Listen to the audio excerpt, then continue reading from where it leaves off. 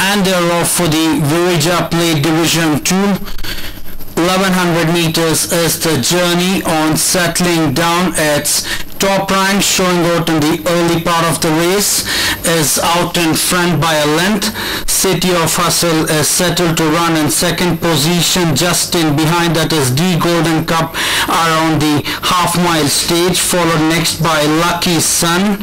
On the outside is Ecosystem Racing wide. Raptor is in close attendance. The favorite War Song with 600 meters to travel is racing fifth on the outside is Huram. Another six lengths behind is Desert Romance followed next in the field by Sweeter Than Honey.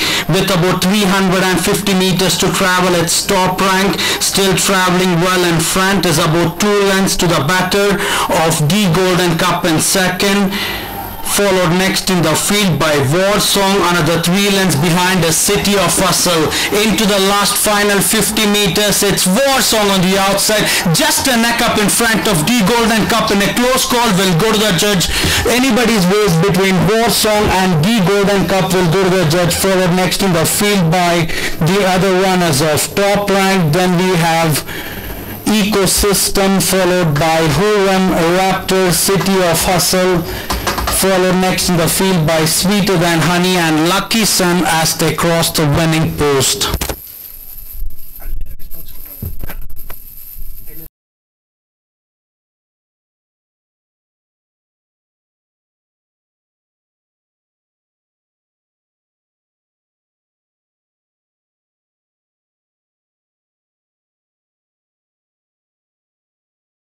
Ladies and gentlemen, we just witnessed a scintillating finish in the first event of the day, the Division 2 of the Virija Plate.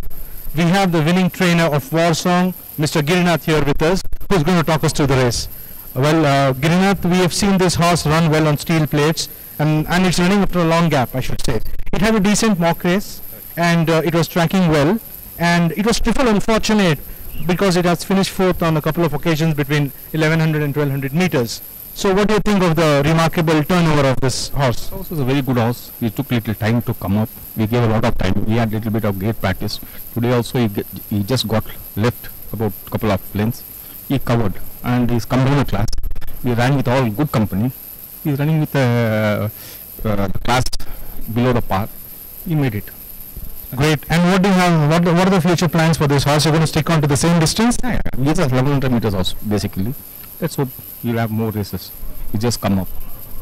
Wish you Yeah, he's in the winning stride just lately, you know, how many starts. Let's all work for the best. we wish you uh, good luck. Thank